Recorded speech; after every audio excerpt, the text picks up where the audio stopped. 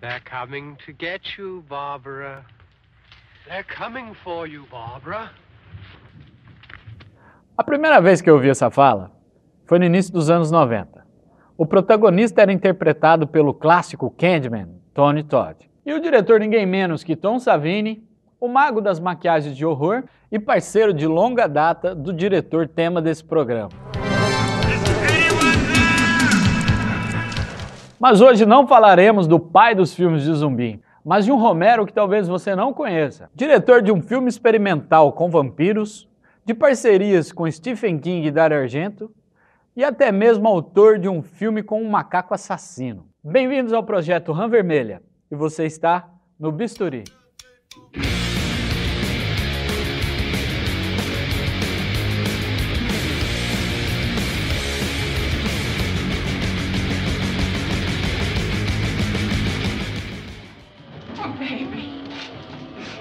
Todos achavam que o sucesso de A Noite dos Mortos-Vivos alçaria voo na carreira de Romero, um erro de distribuição retumbante levou o filme a ser considerado de domínio público, o que tirou dos produtores milhões e milhões arrecadados até hoje.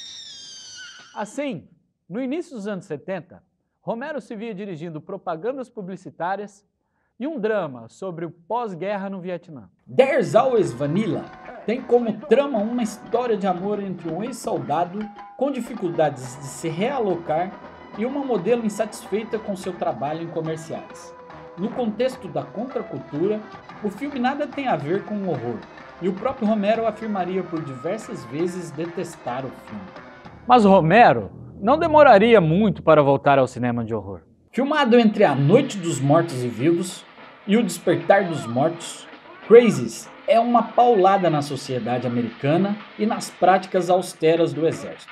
No filme, somos levados a uma pequena cidade americana, infectada por uma espécie de vírus da raiva, espalhado pela própria incompetência do exército. Por diversas vezes, não sabemos se os habitantes enfurecidos estão mesmo infectados ou apenas enfurecidos com a violência do exército. Como nos filmes de zumbi de Romero, a relação de poder é o ponto de maior conflito. E as ordens do exército, que insinuam o uso da bomba atômica, seriam revisitadas num dos finais mais nonsense do horror.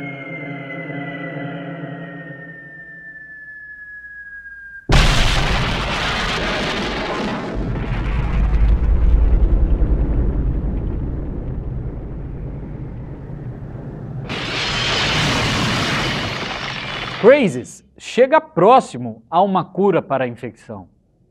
Algo nunca antes insinuado nos filmes de zumbi do diretor. O filme ganhou uma nova versão em 2010, que, como a maioria das refilmagens do diretor, possui um orçamento bem superior ao original.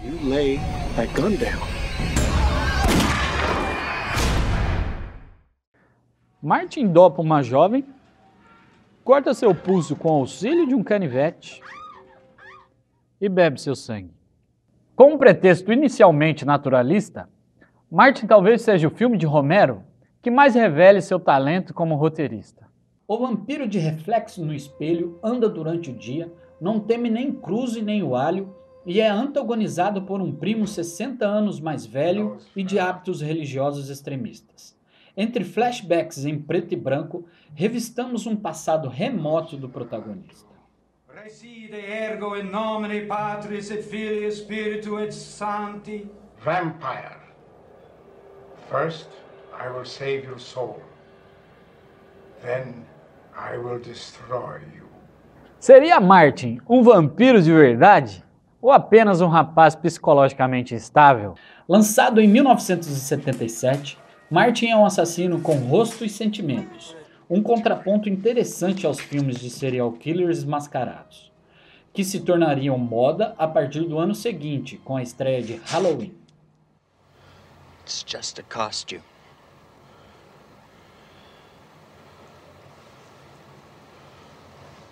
Porém, Romero voltaria a se distanciar dos filmes de terror em 1981, com Cavaleiros de Aço. Um filme sobre motoqueiros que agem como se estivessem na tábula redonda. Maior orçamento de Romero até então, e um dos principais trabalhos de Ed Harris para o cinema. O filme ainda traz em seu elenco Stephen King, dando início a uma parceria que se repetiria já no próximo filme do diretor. Incessantemente reprisado na televisão brasileira, o filme de 1982 é dividido em cinco curtas histórias. Os destaques ficam para O Dia dos Pais, no qual Ed Harris é um intrometido em uma festa de família atacada por um morto-vivo, e na participação de Leslie Nielsen, como um sádico psicopata capaz de filmar a morte de suas vítimas. Creepshow é uma homenagem de Stephen King aos quadrinhos de horror, tão populares nos Estados Unidos e que não deram lá muito certo aqui no Brasil. O próprio escritor protagonizaria um dos contos do filme, no qual o caipira é parasitado por um musgo alienígena. Creepshow teve uma sequência de nível similar em 1987, mas desta vez Romero assinaria apenas o roteiro.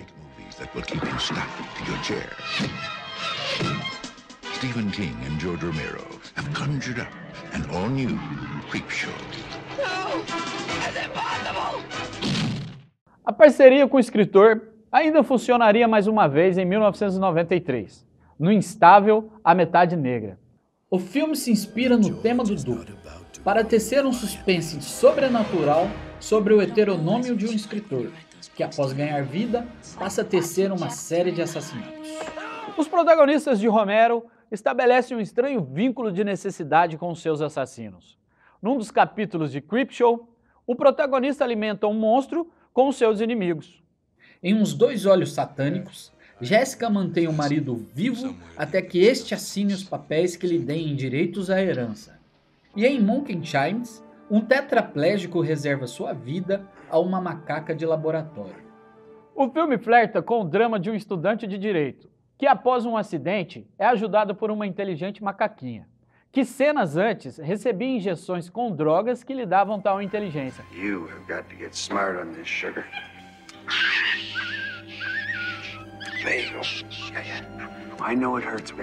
O ano de 1990 consagra a parceria de Romero com o arauto do horror, Dario Argento.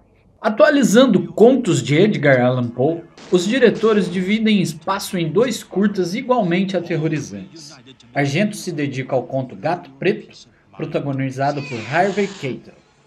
Enquanto Romero se dedica na adaptação do estranho caso de Sr. Valdemar, parte integrante também do clássico Muralhas do Pavor, filme de Roger Corman, protagonizado por Peter Lorre e Vincent Price. Romero transita sua câmera por uma mansão gigantesca, no qual a ganância é antagonizada por um milionário que, mesmo morto, é incapaz de descansar devido a uma hipnose não findada.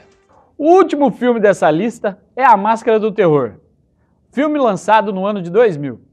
O filme de tom a la Cronenberg força nas tintas ao trazer um protagonista de classe média alta rodeado por personagens de pouca profundidade. Na trama de contornos bem maniqueístas, Harry é desprezado no trabalho. Seu esposo trai com o chefe, o melhor amigo lhe rouba, a esposa o rouba, a empregado rouba, o cachorro late, a campainha toca, 90% dos personagens o detestam. E logo o personagem acorda com uma máscara colada ao rosto. Resultado?